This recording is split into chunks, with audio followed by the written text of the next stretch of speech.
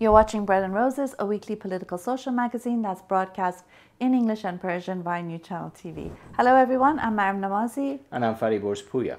Before we begin, we'd like to wish you all a wonderful 8th March International Women's Day. In this week's program, we'll interview Tasneem Khalil, Bangladeshi journalist and author. We'll also be talking about the elections in Iran, a Women's Protection Act in Pakistan and how it's anti Islamic, ISIS and the use of clippers against women who are improperly veiled, Hasidic Jews and gender segregation, as well as a fatwa against research on women, cycling in Gaza, and of course, the brilliant unveiling movement and anti compulsory veiling movement in Iran. Stay with us.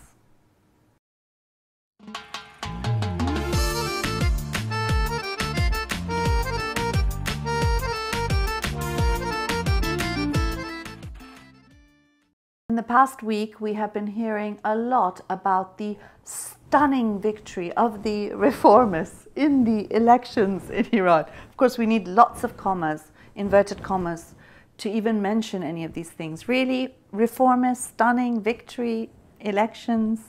When, when you look Pinch at the, me, is it? Am I dreaming? it's, it's, it's real, Maryam. And the more reality is divorced from the narrative of the election in Iran, the more outrageous it's become. Um, and you could see even the journalists are scratching their head. They say, look, this is complicated. the situation is very complicated. We can't explain this. But, but that's the reality. When you look at the list, you'll see um, which one is the reformist one because when they, they jump between the list, if you can't get uh, sort of, uh, if you get you can't get into one list, they'll actually switch and move on to the other one. And I think everybody's confused about this. this. I mean, the reality is look, fundamentally, there's no difference between the two factions. They've said it themselves. It's all about, you know, the strategy, differences in strategy perhaps, but all in order to maintain and safeguard an Islamic system. Exactly. And having Muhammad uh, Ahmad Khatami, one of the um, leaders of the Islamic regime, said, look, personalities could change, but the Islamic regime foundations and the strategy would never change. Yeah, and and that's the reality of it. So you know, they've they've finished playing Islamic democracy uh, after these elections, and again they have started to step up the repression. We've got musicians, filmmakers. Uh, there's there's several Hossein Rajabian. Uh, Mehdi Rajabian, his brother, Youssef Emadi, who have been tortured, imprisoned for making films and for distributing music. And this is non-stop. You know, the rate of execution and arrest is continuously, continuously been increasing under the reformist, Reformists, inverted, uh, yeah. inverted comma, Yeah. uh, president of the Islamic regime. You know, it is is a joke. And I think part of this narrative is to continue to trade and work with the Islamic regime. And it's you have a, you know, an army of journalists trying to sort of justify this, uh, to create an illusion that there is, um, you know, there, there is change happening within the Islamic regime. We don't think so. Well, journalists need to do their job a little better, perhaps, uh, you know, instead of uh, just accepting the narrative that the regime has Yeah, given. And of course, I mean, I think it's just common sense. You cannot have a democratic system in a theocracy, in a dictatorship. It's clear. And of course, uh, you know, anything to do with Islam is just bad news when it comes in the state, when it comes in the law. There's been a great law that's been passed in the Punjab in Pakistan and um, in the province of Punjab, and it's called the Women's Protection Act. It's to protect women against uh, sexual violence, psychological violence, domestic violence. And of course, what's, what's happened as a result of this wonderful law being passed? And a number of actually um, Islamic scholars and institutions have come out and said this is yes, uh, and this is against the tenets of the Islam and the uh, Pakistani constitution. Yeah, it's it's they've they've said it's uh, it's uh, anti-Islam. Uh, one of the um, mullahs has said the whole law is wrong, and he, he he did go on to say that it makes men insecure. I think he's worried about himself, isn't he?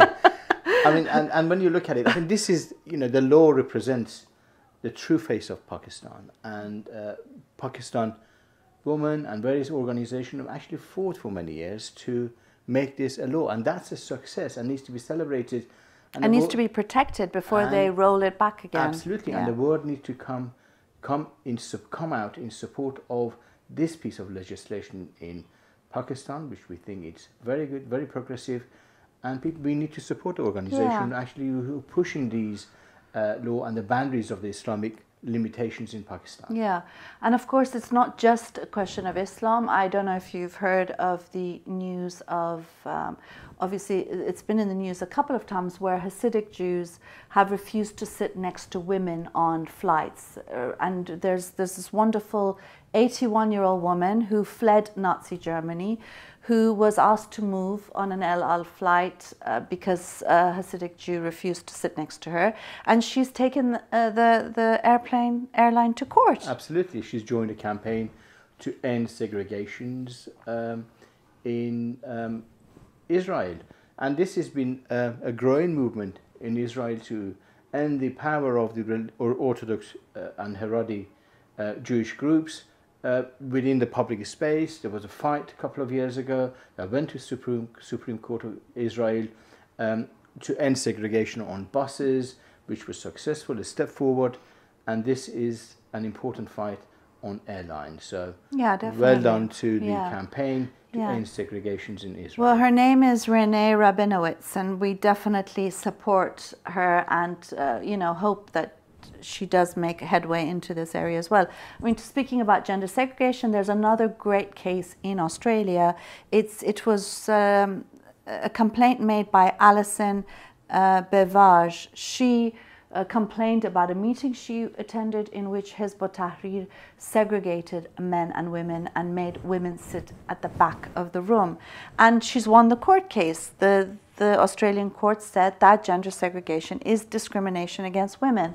Of course it is. So I think the, uh, the movement against uh, segregation and defense of women's rights, it's actually it's an international movement and we could see all these manifestations. We've had a fight against the um, universities UK who tried to justify segregation in universities meetings and that was pushed back and you could see all these different fronts that are actually fighting for women's rights. Yeah, and you know, the veil is one important symbol of this segregation between women and men. Uh, and of course, the fact that women are seen to be sources of fitna and chaos in society. And we just heard about a, a sort of tool that ISIS is using against women who are deemed to be improperly veiled.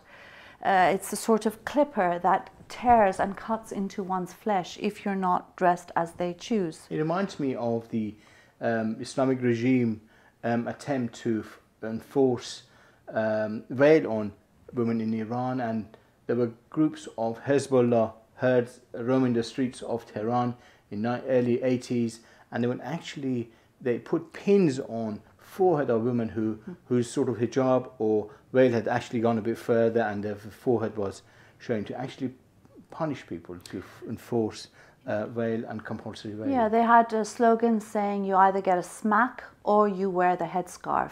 Naru sari, no natu sari. It was a slogan.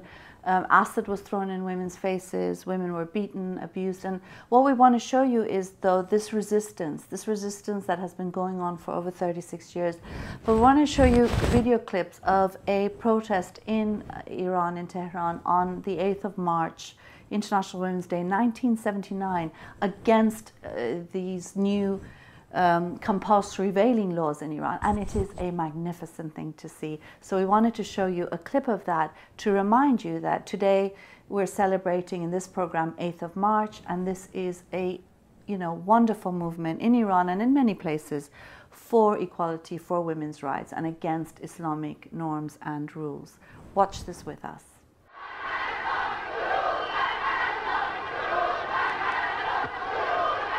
En passant devant l'hôpital, les femmes crient Salut les infirmières, rejoignez-nous.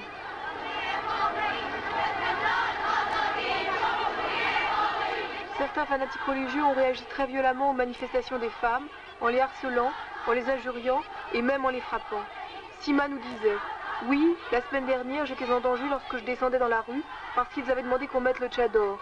J'avais mon foulard dans mon sac, j'en ai toujours un par sécurité. Des hommes dans chaque voiture qui passait disaient quelque chose. J'ai pensé que s'ils continuaient, j'agirais, je me défendrais. On a déjà fait des manifestations. Il y avait des soldats dans les rues, c'était le danger de mort. Maintenant, on peut marcher devant quelques hommes, on n'a plus peur.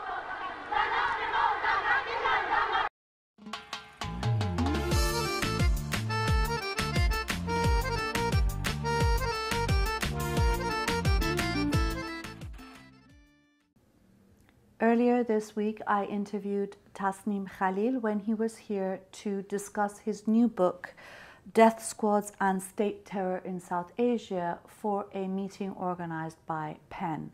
Listen to this interesting interview about the situation in Bangladesh, particularly for freethinkers, and what we can do to support them. Stay with us. I wanted to first talk to you about Avijit Roy. It is has just been the first anniversary of his murder. Can you explain uh, a bit about what exactly happened and what the situation is now about those who actually took part in the killing? Uh, thank you for having me. Uh, yes, uh, we just it was just a one year anniversary of the murder, and uh, as far as I understand, no one has really gone to trial or faced any kind of uh, justice uh, because of the killing. Uh, there are some other cases where we know that some people were arrested and recently the police cracked down on a house in Dhaka and they claim to have sort of destroyed the headquarters of uh, Ansar al Islam in Dhaka, which I think is a good development. Uh, but that's all there is, and we have not heard anything about uh, any progresses in the investigations, not only in Avijit's case but also other cases. I mean, with uh, regards, you know, Avijit's case and others, uh, there does seem to be this sort of, you know, indiscriminate violence against freethinkers in Bangladesh. Is there also a sort of large amounts of solidarity in Bangladesh for free freethinkers? Uh, free thinkers, uh, as, as we know, are, are usually called Gnostics or atheists in Bangladesh and among the general public. Uh, there is a growing movement of free thinkers, and uh, this is led by, uh, this was led by Avijit, as you know. I mean, he was the editor of Mukto-Mona blog, and but after these killings, we can see that there is a new generation of free thinkers they're coming up and that's an excellent thing. And uh, regarding the first part of your question it's not really indiscriminate it's very targeted. And uh, if, you, if you look i have been uh, reading up on jihadi literature which is available on the internet. They have their website and all that. Um, and and they're very focused. What kind of person to kill uh, who to kill and why. Uh, these are followers of Anwar al-Awlaki, the Imam, the uh, Imam who was drowned and assassinated by the United States a few years back. Uh, these are the same people ideologically they are the same group um, who attacked uh, who, who, carried out the paris attacks and uh, so these are very targeted and um, very organized attacks and i don't I, I fear they're not going to stop anytime soon. So there is a list of people as you say that they're targeting and the government seems to be completely you know not following through with trying to prosecute them. Why is that? Why what's why is that happening just to clarify, there is no public list. There are lists which we know of. You know, these lists are described as uh, hit lists and uh, all that.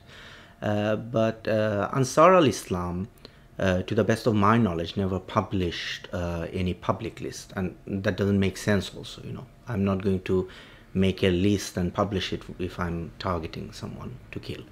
but there is a profile. That's that's what I was trying to get at uh, anyone who writes about science, anyone who critically tries to examine Islamic texts and all that, they, they are uh, the targets.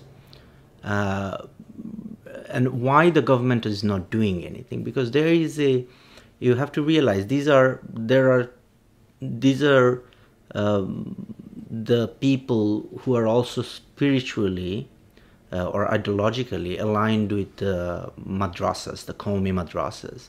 And the government is actually in an alliance of sorts with uh, Hefazat-e Islam right now. Uh, and uh, when Hefazat-e Islam came out on the streets against the bloggers, uh, I think back in 2013, the government was really afraid that now uh, there will be an Islamic revolution or something, uh, and, and, and, and they, these people had to be taken care of.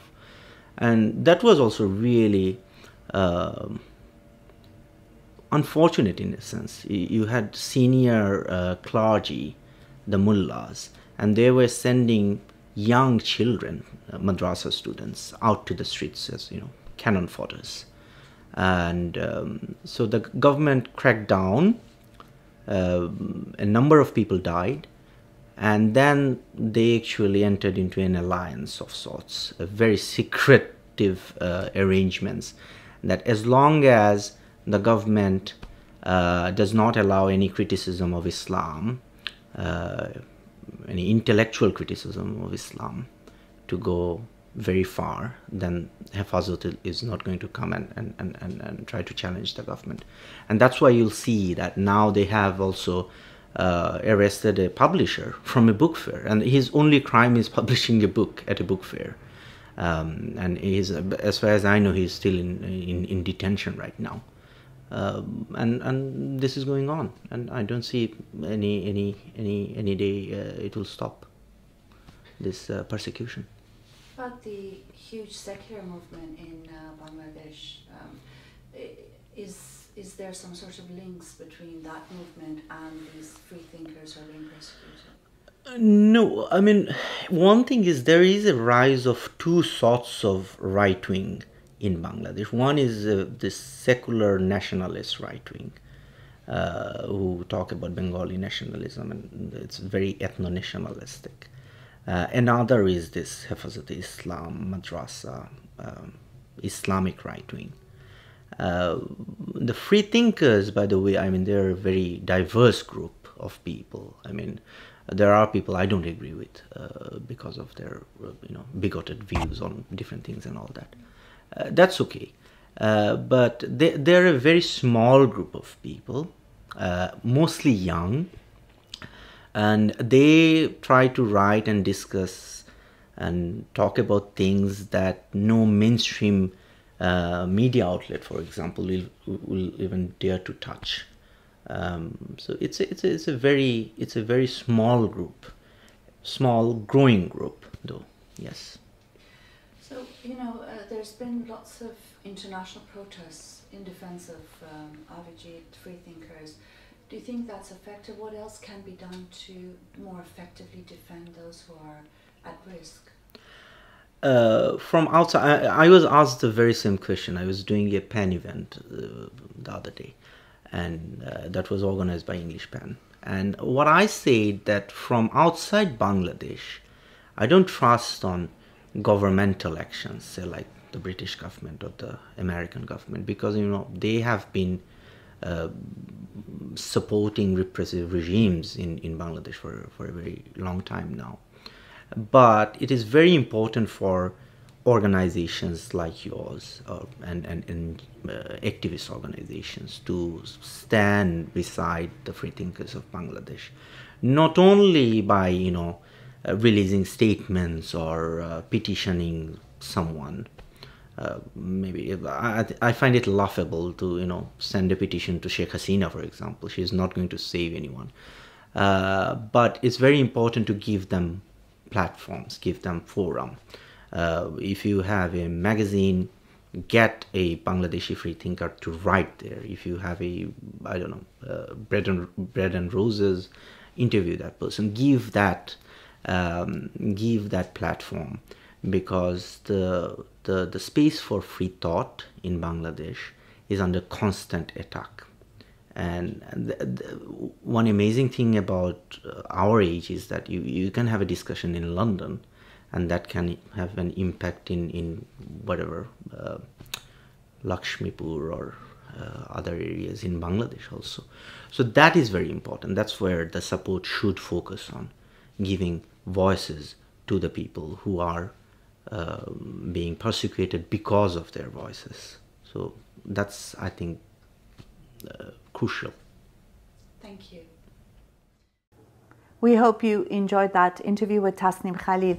I think one of the issues that's important here is that just recently in the news there's a discussion on how the Supreme Court in Bangladesh is now deciding whether to remove Islam as Bangladesh's state religion. It was something that was imposed in 1988, so that's not very long ago. And of course, that would be a hugely important move if that happens. Absolutely, both for Bangladesh as well as the rest of the Islamic ridden societies in Asia, uh, Middle East, and North Africa. That sets a precedence and that would be very welcoming. I think the other point that uh, Ta- um, Tasneem mentioned is that uh, the relationship between the ruling political powers, political parties, as well as the Islamic group, how they sort of work hand in hand continuously. Uh, so political groups, the main political parties, to remain in power, they compromise with uh, the Islamic groups, and they recognize that they can act as a pressure uh, on the government. Yeah, and, and you do see that in, in many different countries, including even in Britain, don't yes. you? You you see this sort of wheeling and dealing with the Islamists, which is why they are able to maintain power in, in the way that they do.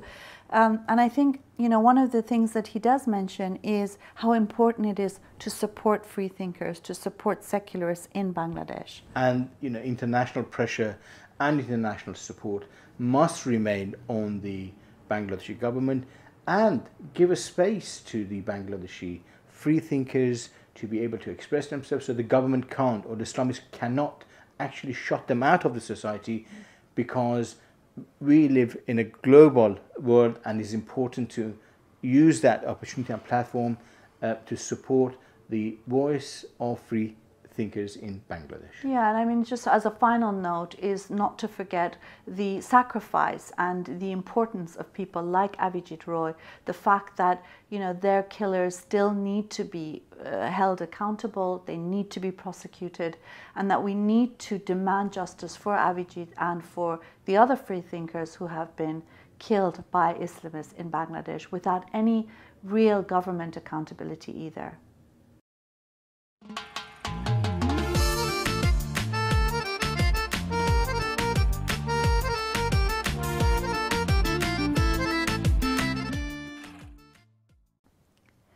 The insane, insane, insane fatwa of this week is from India. It's from Sunni Barelvi Markaz of Dargah Ala Hazrat, which has issued name. very long name, usual, you know, stupid, stupid fatwa with long, long name.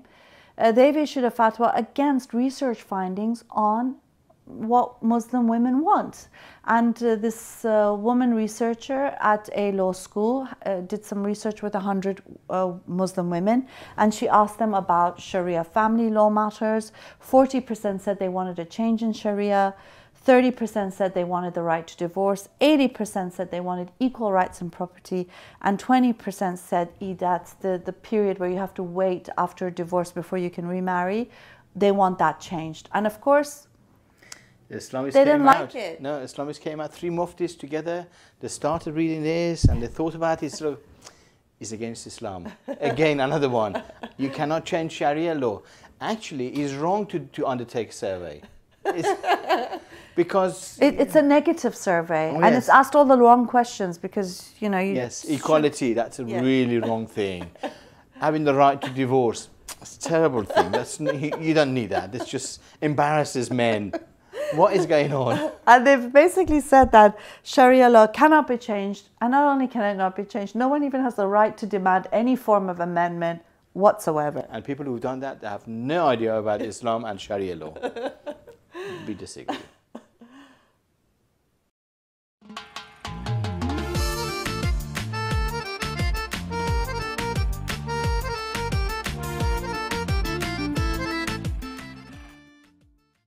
This week's slice of life is from Gaza, and it is women who are bicycling uh, in a group together in various places in the public space. And of course, Hamas does not allow women to participate in sports in public, to bicycle after puberty. And so this is a wonderfully liberating thing to do. It's not really allowed, which is what makes it so brilliant. And the group of women coming out against Islamists, like many other places um, in, in Middle East and North Africa, women are forefront of fighting the Islamic rules and regulation and you could see them cycling despite the rules of the Islamists yeah. in Gaza and different parts of Palestine. And what's interesting is, of course, they have been applauded by some, and others have said, well, you know, they're women, they should be obeying their husbands and cooking food. Uh, and of course, uh, that's clearly uh, not what they're, they're doing. And we just wanted to wish them the best and, you know, just express our support for them. Express our support, and, and it is very exciting. Exactly, it's really something to be celebrated. Anyway, we hope you've enjoyed this week's program. We uh, want to thank our patrons, people who've been donating to us, supporting our work, writing to us, commenting on our videos. We really appreciate all of your support and your feedback. Do keep watching us. Tell other people about our program. And I guess we'll see you again next week at the same time and same place. Until then, have a lovely week and long live 8th March. Good night.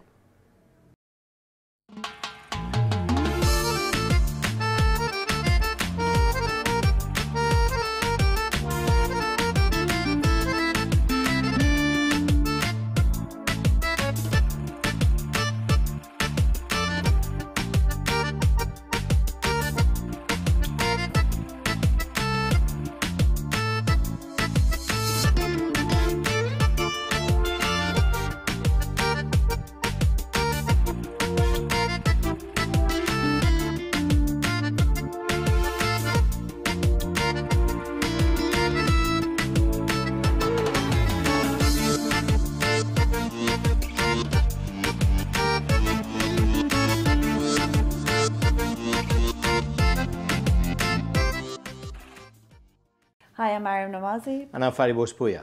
We're hosting a program called Bread and Roses. It's a weekly program that's broadcast in Persian and English in the Middle East and North Africa, primarily Iran as well. And it's also shown on YouTube internationally. And we've been doing this since last May. We're coming up to our year's anniversary and yeah. we, we've had quite a lot of fun making these videos. We discuss taboo breaking, free thinking ideas. The Islamic regime of Iran has called us immoral and corrupt. And that's why the, you need to support us. We are and the alternative voice in Middle East and North Africa. Of corruption and immorality. So do support us. Here's a short video from Patreon that explains how you can help us with even just $1 a week. That's nothing. Support us. Patreon lets fans become patrons of their favorite artists and content creators. It's different than Kickstarter because it's not about one big project that requires lots of funding. It's more for bloggers or YouTubers or webcomics, anyone who creates on a regular basis. Here's how it works. When you become a patron, you're agreeing to give an artist a tip of an amount you set every time they release a piece of content, whether it's a new song, a video, or a recipe. You can set a monthly maximum to make sure that you're always within your budget. Choose an amount, enter your payment information, and you're done. Becoming a patron allows you to view and post in the artist's stream, and in exchange for your support, artists offer additional patron packages, which might include monthly Google Hangouts, music production tutorials, pre sale concert tickets, or anything they can offer as a way to say thanks. Patreon, empowering a new generation of content creators.